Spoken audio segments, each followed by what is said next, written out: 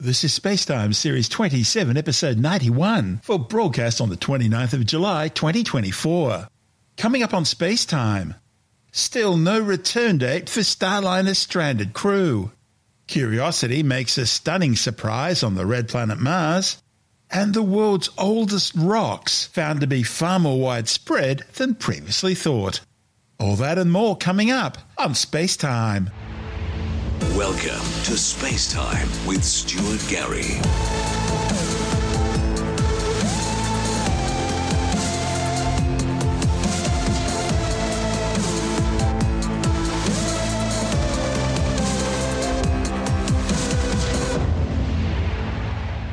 There's still no return date for Boeing's trouble plagued Starliner spacecraft, which will remain docked to the International Space Station for several more weeks, or possibly even another month. Butch Wilmore and Suni Williams launched way back on June the 5th on the first manned test flight of the brand new Starliner CST 100 spacecraft on what should have been a trouble free routine mission to certify the vehicle to join SpaceX's Dragon capsule in transporting crews to and from the International Space Station. However, a combination of helium leaks and faulty thrusters hampered the flight to the orbiting outpost, eventually forcing a manual docking rather than the automated arrival originally planned. And that's turned what was meant to be an eight day mission into what so far has been a seven week marathon. All the problems are in the Starliner's service module, which is jettisoned just before re entry. It then burns up in the atmosphere. So instead, if NASA and Boeing technicians want to find out what's gone wrong, they need to use a spare Starliner service module at the White Sands Missile Range in New Mexico to determine what the problems are and if they can be remedied sufficiently for the crew to return to Earth. They'll then need to check the best they can with the spacecraft in orbit before any re-entry is attempted. The problem is, five of Starliner's thrusters, used to provide fine orbital maneuvering, failed to kick in during the spacecraft's approach to the space station after being automatically deselected by Starliner's onboard computers. The crew were able to restart four of them and then undertake the docking to the space station's Harmony module manually. Tests on the ground with the spare service module at White Sands have identified degradation issues in both the fuel and liquid oxygen valves and the reaction control system thrusters. Teflon was discovered eroding from the seals, causing the ejector poppets to clog and deform. Mission managers say the problems are only affecting thrusters that control orientation, not the more powerful ones used for deorbiting. And they believe the remaining thruster seals should remain intact long enough for the return to Earth. Although, as a precaution, there'll be no manual flying of the Starliner spacecraft so as to avoid any undue stress on the thrusters. However, further ground evaluations will be conducted over the next week, and alternative orbital maneuvering thrusters on the spacecraft are likely to be employed anyway. Also, as an added precaution, and something which is likely to become standard in the future, the Starliner crew will carry out a hot fire test of the thrusters prior to any undocking in order to ensure the systems are working nominally. The journey to the orbiting outpost was also hampered by a persistent helium leak. That was actually detected before the launch, but it wasn't considered serious enough to abort the mission. However, during the ascent to orbit and once in orbit, further helium leaks developed, raising concerns. Helium's an inert, non combustible gas, and it's used to pressurize the propulsion system. Tests at White Sands identified degraded seals caused by oxidizer permeation. As Starliner actually carries 10 times more helium than what it needs for its flight, mission managers believe there's still enough in reserve for the return trip to Earth. Managers are also planning a deorbit burn evaluation, which will be carried out later this week as part of the ongoing re-evaluation process. And that'll be followed by a formal review, which could set an official undocking time and date for the return to Earth. Both NASA and Boeing insist the current plan is to return the stranded crew to Earth aboard the Starliner.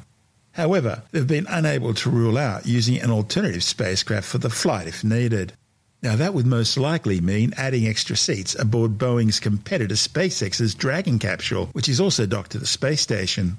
NASA says that's the advantage of developing two different flight systems as part of the commercial crew contract. While on station, the two Starliner crew members are joining with the 7 Expedition 71 crew members in helping out with day to day tasks and scientific experiments. These have included carrying out ultrasound tests, exploring the use of microgravity to produce higher quality optical fibers, investigating fluid physics such as surface tension in order to address challenges in watering and nourishing plants being grown in space, and gene sequencing experiments in microgravity. They've also changed out pumps on the urine to water recycling system and undertaken an inventory of the food supplies currently available on station. That could become crucial depending how much time they're stuck there. The extra time on stations also allowed the team to complete an extensive checklist on the Starliner, including its use as a safe haven in case of emergencies aboard the space station, and also checking out how its life support system performs with additional people on board. NASA awarded both SpaceX and Boeing commercial crew transport contracts in 2014. The idea was to develop two separate spacecraft and launch systems to ferry crew to and from the space station following the early retirement of the Space Shuttle fleet in 2011. SpaceX began transporting crews back in 2020, but Boeing have had multiple problems with their Starliner spacecraft, managing only two unmanned orbital flights prior to the current mission. The first, in December 2019, failed to reach the correct orbit and was almost destroyed during its re entry because of a series of computer programming failures that were only caught at the last moment. The second flight in May 2022 seemed to go fairly smoothly, only a few minor issues aboard. But far more serious problems became apparent once back on the ground, and that delayed the first manned test flight for two years. The last few years haven't been good for Boeing, what with a series of airliner crashes, doors being blown out at altitude, and tyres falling off aircraft. It doesn't look like things are going to get any better anytime soon. This is space time. Still to come, Curiosity makes a stunning surprise on the red planet Mars, and it seems the world's oldest rocks are far more widespread than originally thought. All that and more still to come on Space Time.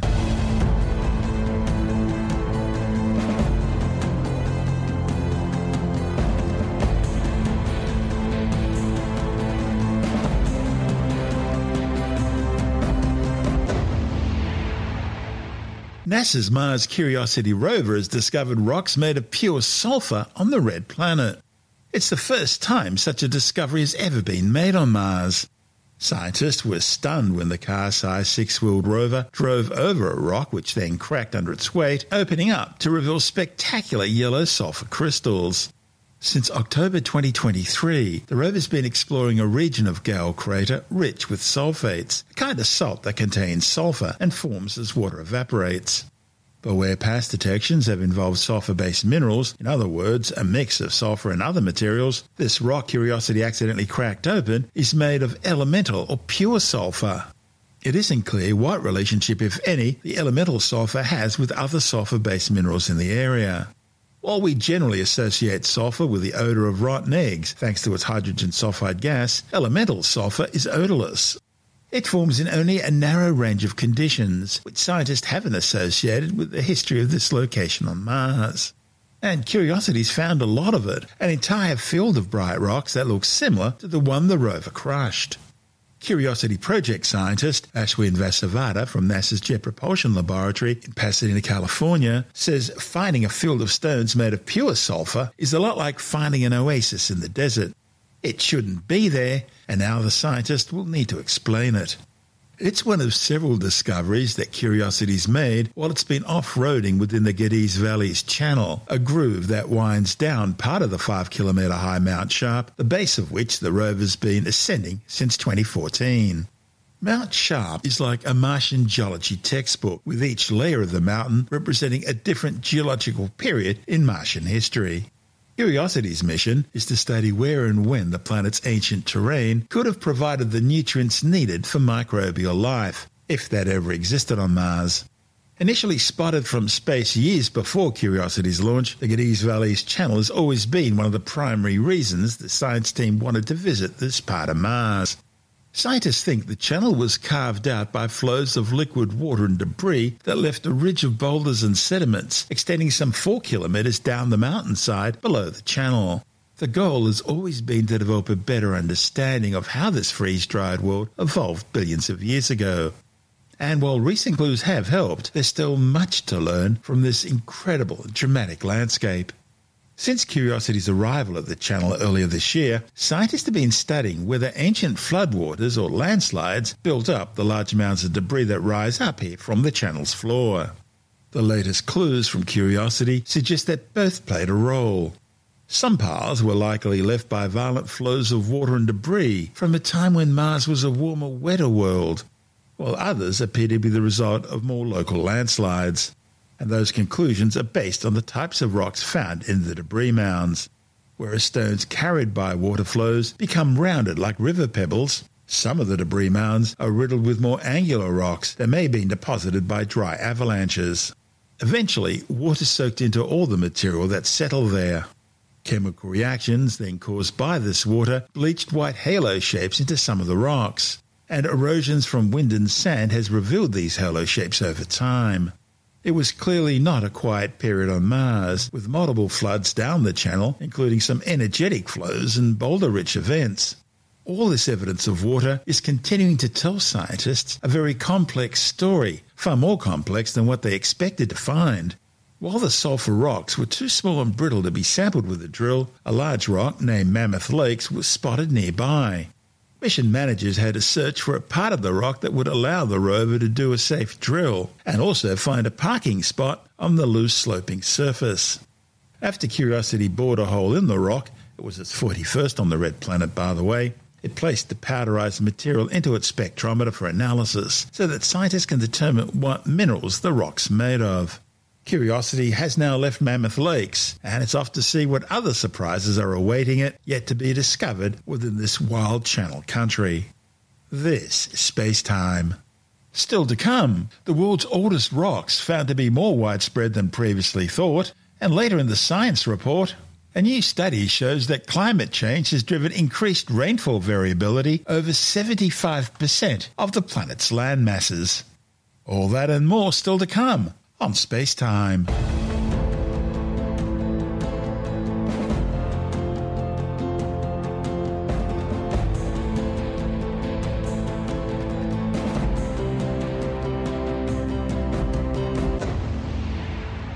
A new study has shown that some of planet Earth's oldest rocks are far more widespread than previously thought.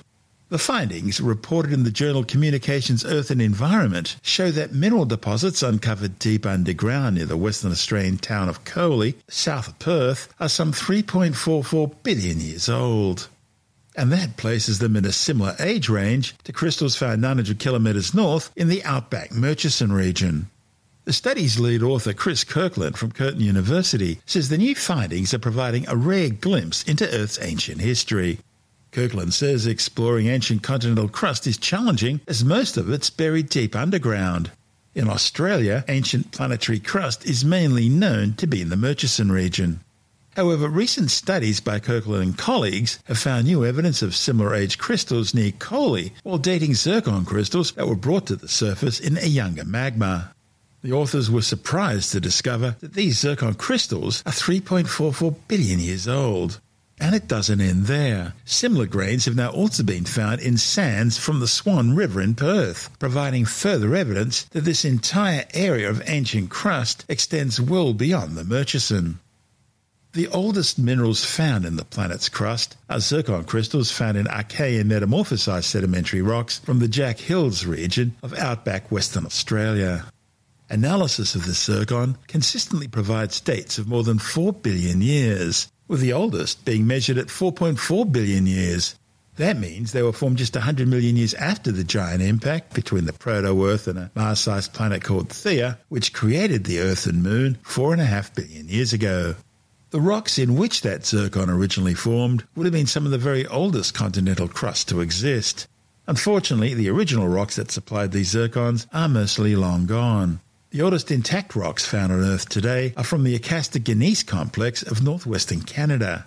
The uranium lead dating of zircon crystals from these rocks reach into the Hadean eon at 4.2 billion years. There are also rocks from the Greenstone Belt in northern Quebec. They don't contain zircons as it's mafic to ultramafic in composition and represents ancient ocean crust.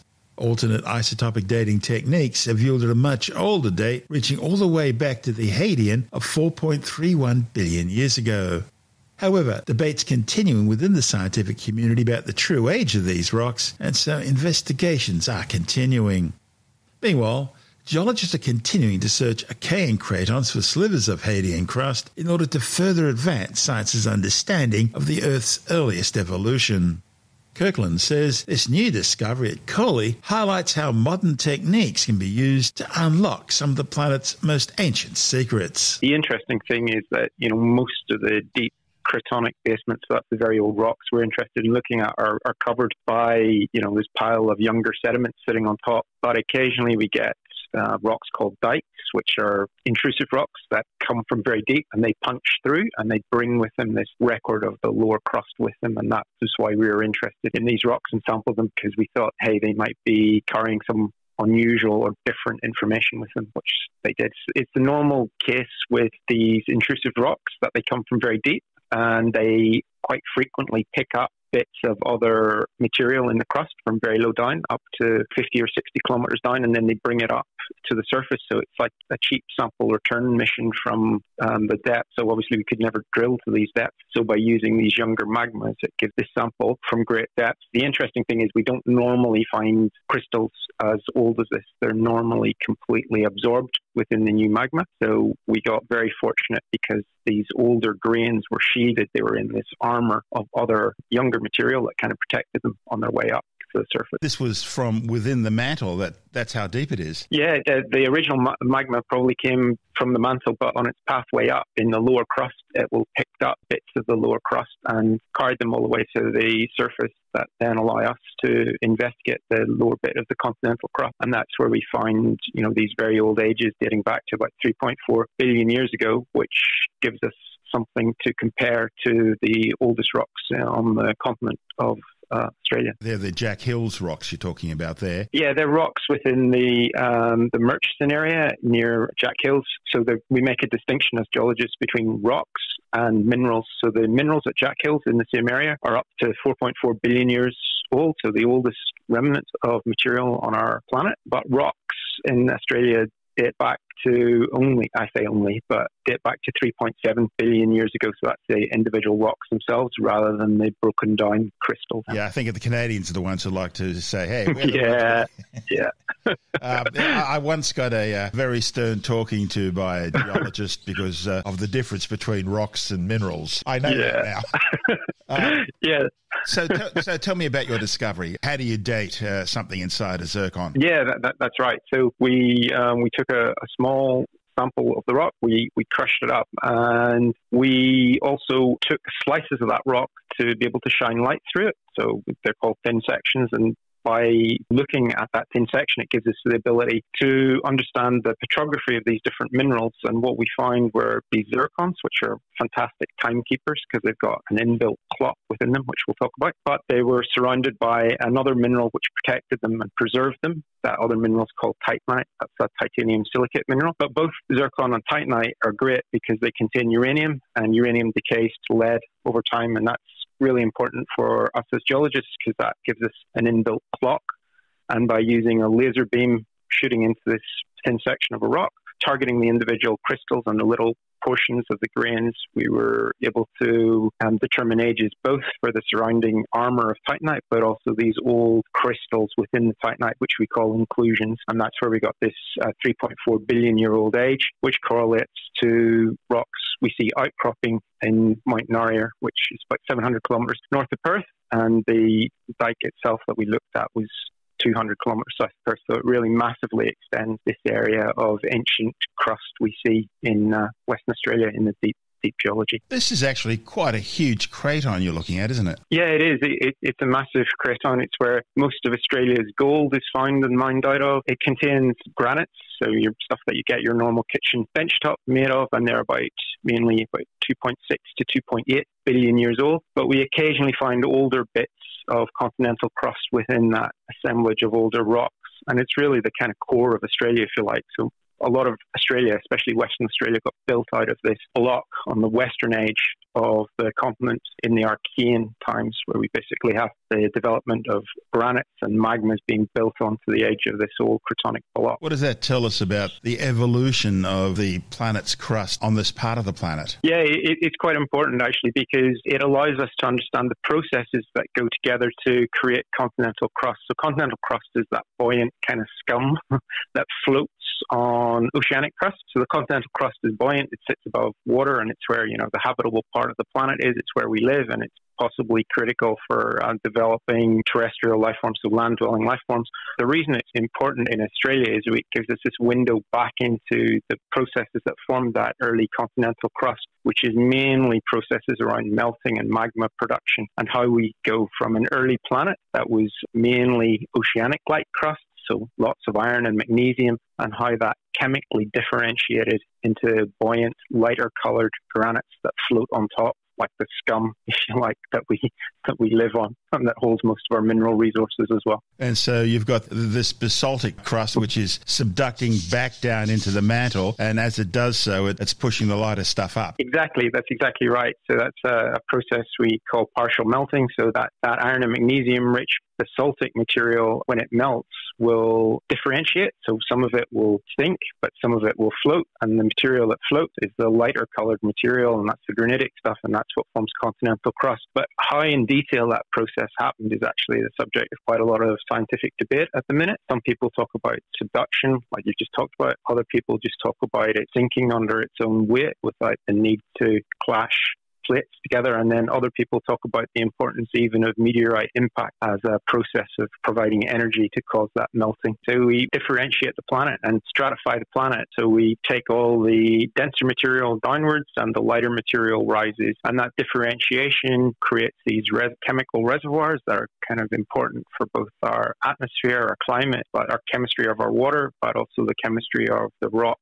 and minerals within the planet itself. And the cycling between these different chemical reservoirs is kind of one of the things that maybe makes Earth special and suitable for uh, for life. Earth is special. It's the only place we know of for sure that has tectonic plate activity. Does that make you yearn to maybe visit other worlds like the moon or Mars where this sort of thing doesn't happen? Yeah, absolutely. As, as a geochronologist, as someone who specializes in dating rocks, the planet, especially Earth and Moon, are quite special because they allow us to look at processes that might be similar to processes that happened on the early Earth. For example, the Moon contains a record that stretches back probably further than we can access on Earth, simply because Earth is recycling itself with plate tectonics. But the Moon, because it doesn't have plate tectonics, allows us this window into earlier processes. And that's one of the key things I mentioned earlier why impacting might be important because we can see that record very clearly on the Moon. But on the Earth, because of the process of plate tectonic, that record is being continuously erased, even though it must have happened. The Apollo 14 astronauts brought back samples from the moon, which were originally from Earth. There was ejecta thrown up into space following an impact, and that was dated at 4.4 billion years. So, yeah, going to the moon will give us some good information on some of the oldest material on Earth. Yeah, absolutely, because the you know the moon serves as this archive of um, processes that happened on the, the early Earth. So it's a treasure trove of, of information information. Also, I mean, we can look at meteorites from other bodies that might have hit the Earth, such as Martian meteorites, and that can give us ideas about processes happening on Mars, which might correspond to similar processes on the early Earth when there was, uh, you know, different tectonic regimes. I'm fascinated by the fact that there are these two planets, Earth and Venus and yet they have mm-hmm. such totally different methods of cooling. The Earth does it through tectonic activity. Venus doesn't have tectonic activity. There's no evidence of it there. Instead, the only cooling on Venus seems to be volcanic. Yeah, that, that's really interesting. And, and another observation about Venus is we can look and we can see the some of the patterns in terms of large blocks. I, I'll use the word crust but large parts of the surface of Venus tend to show this kind of egg carton kind of pattern. Yes. But we also note, notice that similar egg carton type pattern, for example, in places like the Pilbara. And then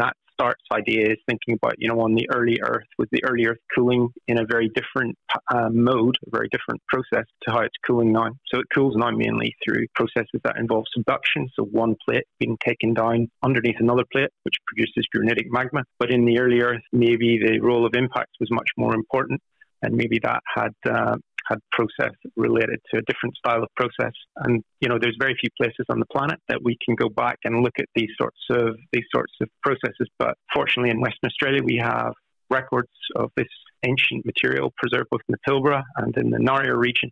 But now also, it looks like we've got a record of that early crust formation processes in the deep geology, and we can maybe access that through these younger magmas that are punching up from uh, uh, you know deep within the planet and bringing with them this information. Why didn't Venus have plate tectonics? And one of the hypotheses is that the planet is just too warm. The crust is too malleable. It hasn't had a chance to harden enough to begin the plate tectonic process. Yeah, yeah. There's ideas that you know on the, the early Earth, the um, thermal conditions were uh, a lot hotter. We had a much higher impact flux, so much more thermal energy. So convection was more vigorous, and we had material being transferred between these different geochemical reservoirs much faster. We also have to remember the planet hadn't differentiated as much, so it hadn't separated as much. So it's this kind of long pathway from this, you know, early formed body into a differentiated planet with all these different reservoirs that led to led to us being able to talk here today. It's quite remarkable. Is that why there's so much investigation into working out when the first continents formed on Earth? Yeah, I think it's a it's kind of a great scientific debate. I think there's quite a lot of effort being put into it because of two reasons. One is that the evidence is quite sparse. So you can, you know, testing hypotheses takes takes time, but there can be quite a range of different hypotheses put forward. The evidence is quite limited because we talked about, you know, the planet is resurfacing itself with plate tectonics, so we're losing information. But also, it's actually relevant for quite a lot of mineral exploration as well, and that's now becoming more important because of critical minerals and the transition towards a green economy. But these old crustal blocks tend to be very important because they concentrate metals on areas that they've been fractured and cracked. And what happens is we have fluids that pick up metals and they get concentrated along these fractures and cracks. And that's where we tend to get most of the big mineral resources. But it, it you know, generally quite a lot of, especially gold, iron ore, but some of the critical metals like lithium tend to be associated with these older crustal blocks. The magic of all this is the fact that there are these zircon crystals. Yeah, that's absolutely that's absolutely true because I, I talked a little bit about the the grains being protected under nearly every other circumstance we've seen within these iron and magnesium rich dikes. So they're they're mafic magmas, they're basaltic magmas, dark dark colored rocks that intrude into into light coloured rocks. There's the sorts of things that you see as long sheets. You know, if you go for a walk over any exposed rocks, you see them quite frequently. Normally, they dissolve zircon. So the only reason these little crystals have been preserved is that they were inside this armor of a different mineral that was more chemically stable within that magma, and that doesn't happen very frequently. So we got we got very lucky in finding these little inclusions that have brought with them so much uh, history with them. Basically, zircons they contain a little bit of uranium, not very much, but enough that over time that uranium will decay to lead. So by looking at the isotopic ratio of uranium to lead, we've got this inbuilt clock because we understand the decay rate, the rate of change between those two different isotopes. Now, what's important about zircon is at the start, when that crystal grows, it hates lead. So it doesn't incorporate any lead at the start. The only lead that's in our zircon crystal has come from the decay of uranium. And that's why it's such a good clock. Because you could imagine if we had a different mineral that grew and incorporated both uranium and lead, that kind of clock is slightly broken because there's some lead already at the start. And we're only interested in the lead that's produced from the decay of uranium. So that's why zircon is such a good timekeeper because all the lead has come from the decay of uranium and we know the rate of that change. Therefore, we've got this inbuilt clock. And also, zircon grows in lots of different types of magma. So, because it's kind of ubiquitous, it, it, provides this really useful time capsule into the, the deep time history of our planet. That's Professor Chris Kirkland from Curtin University. And this is Space Time.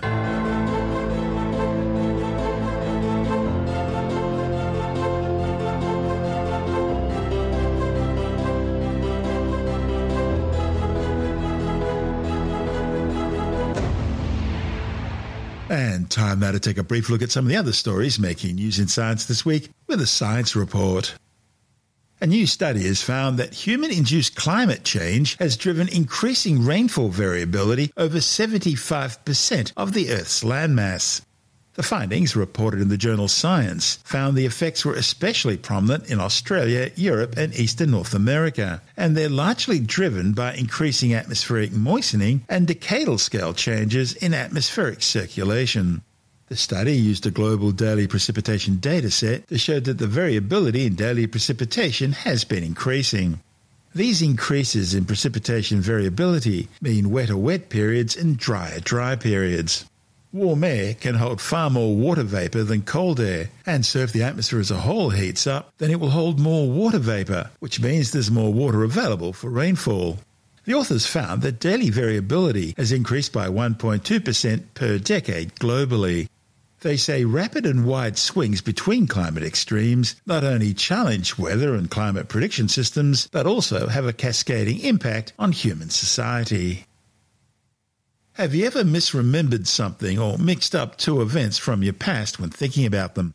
It's a bit like the famous Mandela effect, when you ask people if they remember where they were and what they were doing when they first heard the news that Nelson Mandela had been assassinated.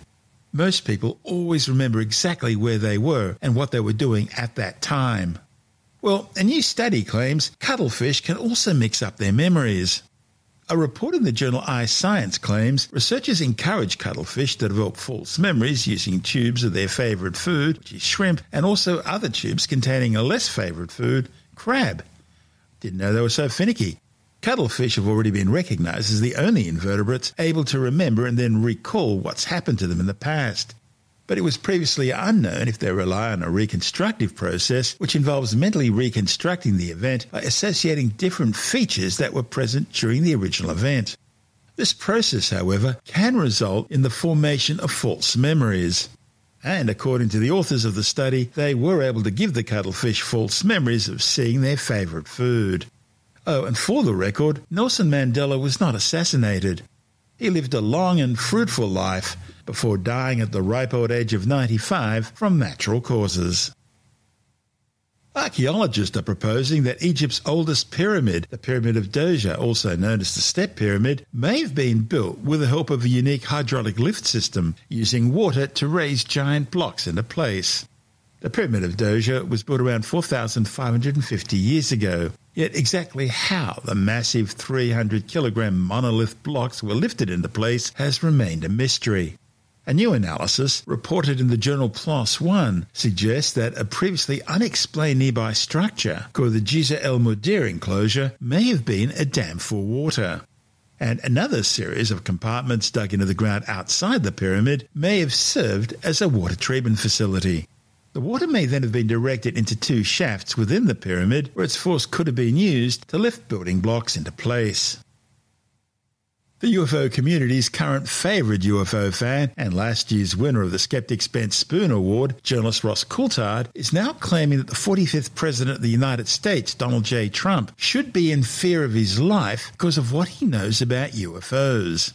Tim Mendham from Australian Skeptics says Coulthard's claim was made months before the infamous actual assassination attempt three weeks ago, and as far as we know, aliens from another planet weren't involved. Yeah, it's interesting actually because uh, Ross, of course, is an Australian journalist. He's been a Walkley Award winner. He's been highly praised, etc., etc. But lately, that says a lot about the Walkleys, doesn't it? It says a lot. he's He's lately, he's in the last couple of years, of course, he's been, been a promoter of UFO conspiracies. He seems sincere in his beliefs, quite frankly. He's certainly doing well out of it. He's got a couple of books out of it and that sort of thing. But I think he's pretty sincere. But what he said recently, in I think it was the end of May, start of June, something like that, he gave a talk to the Scientific Coalition for UAP Studies, UAP being unidentified either aerial or anomalous phenomena. Um, they keep seem to swap it over, in which he sort of gave a long description of, of all the UFO conspiracies. Sorry, now back to UFOs, aren't I? UFO conspiracies that have been on and on and on. Especially, he was had an interview with David Grusch, who's the guy who's claiming that the American government has all this stuff hidden away, aliens, alien tech, all that sort of thing. Even though he's never seen it, but he's had it on good authority. So Coulthard is following is really third or fourth hand on this but he's made a living out of describing this. And, you know, this talk he gave to this convention, which went for an hour and a half, actually, so it was quite a bit of work. At the end of it, he suddenly made the comment that Donald Trump, now this was in May, June, right, was uh, in trouble. He's scared, Ross Coulthard said, that Trump is scared. He's scared they're going to kill him. That's what I've been told. I'm not kidding you. I'm not making this up. This is serious. And he's not talking about the Democrats here, I take it. He's not, well, every president since the Second World War has supposedly had the information, the secret about UFOs, and most of them have made fun of it, the very suggestion. But I don't know. I, I haven't actually heard Trump talk about. Isn't that what Majestic MJ12 would? Well, there's a whole range of them. There's a whole range of different investigations and things. I think a lot of Majestic was a bit of uh, hyperbole, wasn't it? Anyway, Ross Coulthard is making this claim. It's nothing particularly new, but in fact, it's interesting that he's you know, referred to Trump being scared of that they're going to kill him, and then not that long afterwards he has this assassination attempt. I don't think anyone's suggesting that the, the lone gunman was actually trying to kill him because of UFO knowledge. Well, the Secret Service apparently didn't see him on the roof there, although everyone else did. Does that apparently, mean, yeah. Does that mean he was an interdimensional being? Good question. Now it's interesting. There's no indication that, that the rather sad figure who tried to shoot him was a UFO or an alien or a UFO believer or something. But it always strikes me as interesting that why are people scared of this knowledge? I mean, Ross keeps claiming he can reveal it at any time, reveal these hidden, enormous craft that are buried under buildings, etc. But he's not. He hasn't. He's waiting for someone else do to it, reveal it. it. That's what I keep saying. Do it, Ross. do us a favour, right? Reveal all this stuff. If you apparently Ross, know about it, up the proud name of journalism and honesty. exactly. Uh, integrity, you know, unvarnished truth, blah, blah, blah. He reckons he knows these things. He knows where these, for instance, these up to 12 or 14 enormous spacecraft are buried under other buildings. He knows where they are. He's just not going to say. This is all reminding me of the story I told you about off air about Biden doing so badly in the presidential debate a couple of weeks ago because he was hit by a directed energy weapon. Yeah, that was one suggestion. The Havana syndrome, um, which is sort of supposedly this thing that started off with radio waves, microwaves being beamed to the American embassy and people being taken off sick, etc. And then it was extended into other countries where these same beams, this something called the Havana syndrome, appears everywhere. And now everybody's using it, whether it's regarding sort of politicians or embassy staff or CIA or whichever. If that becomes a bit of a buzzword that everyone's using this to influence other people, I had someone who came to me. When you say buzzword, did you mean the pun there or not? Uh, I'll claim credit for it. I've had someone came to me recently suggesting that uh, someone who's predicting lottery numbers, which I get quite a lot, people like that come to me, is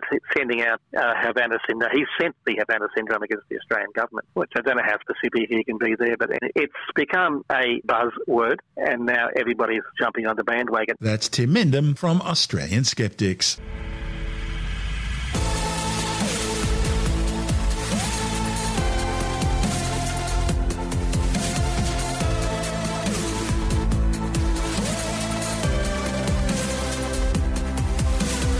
And that's the show for now. Spacetime is available every Monday, Wednesday, and Friday through Apple Podcasts, iTunes, Stitcher, Google Podcast, Pocket Casts, Spotify, Acast, Amazon Music, Bitesz.com, SoundCloud, YouTube, your favorite podcast download provider, and from spacetimewithstuartgary.com. Spacetime's also broadcast through the National Science Foundation on Science Zone Radio and on both iHeartRadio and TuneIn Radio and you can help to support our show by visiting the Spacetime store for a range of promotional merchandising goodies. Or by becoming a Spacetime patron, which gives you access to triple episode commercial free versions of the show, as well as lots of bonus audio content which doesn't go to air, access to our exclusive Facebook group, and other rewards. Just go to spacetimewithstuartgary.com for full details. And if you want more space time, please check out our blog where you'll find all the stuff we couldn't fit in the show, as well as heaps of images, news stories, loads of videos, and things on the web I find interesting or amusing. Just go to spacetimewithstuartgary.tumblr.com. That's all one word, and that's Tumblr without the E.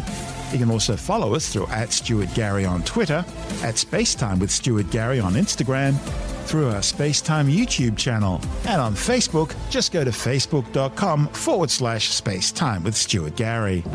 You've been listening to Spacetime with Stuart Gary. This has been another quality podcast production from Bitesz.com.